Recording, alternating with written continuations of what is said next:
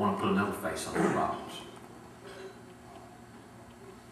College students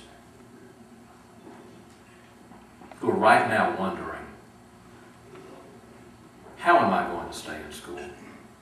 I know I need to stay in school. I know I need to do it because maybe my grandparents didn't have to do it, but we were competing against the Georgians and Tennesseans and South Carolinians at that point. Now we're competing against the Chinese and the Indians, so I know a college degree is a prerequisite today, but it's more expensive than ever. Tuition is going up. Maybe my parents enrolled in the PACT program, and now the state treasurer of our state is informing us that we can't count on that program, we can't count on the investments around it. That college student is wondering, is my state on my side? And he's wondering, because some days he reads in the paper, well, maybe the legislature will fix this problem, maybe it won't.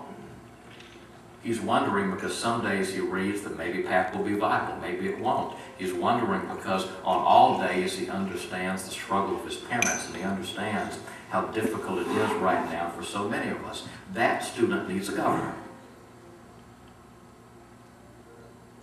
And it is amazing to me that in the months since we learned the PACT program was in trouble, we've heard so little from the governor about it.